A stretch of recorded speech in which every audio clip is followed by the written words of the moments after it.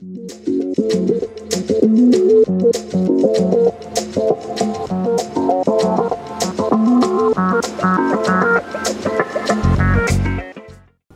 think what really got me going was after I like I fixed my first computer because at first I was so insecure and so self-conscious because everyone was like so much better than me but I stuck it out and I kept like I would just sit there and like unplug and like replug and like unscrew everything and put it back together just so I could like understand and when I first fixed my, my real like issue with like some kid's computer I oh my gosh it's like the best feeling ever and so now I understand why my parents are so like I love problem solving or whatever you know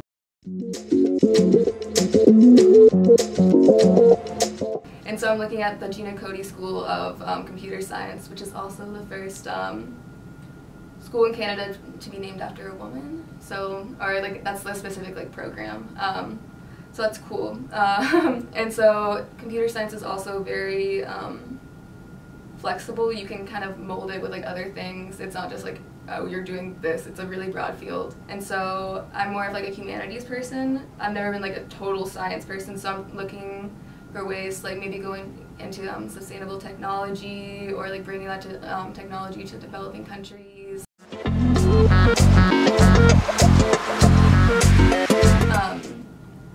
Have some really good teachers here that like I feel like I over the years I formed like personal connections with and that I feel comfortable like going to them with issues or like for like extra help or something. Um, and so I yeah, that's what I'm gonna miss most about South when I graduate is probably my teachers because like there's just nobody gives them enough credit. Like they they put up with so much.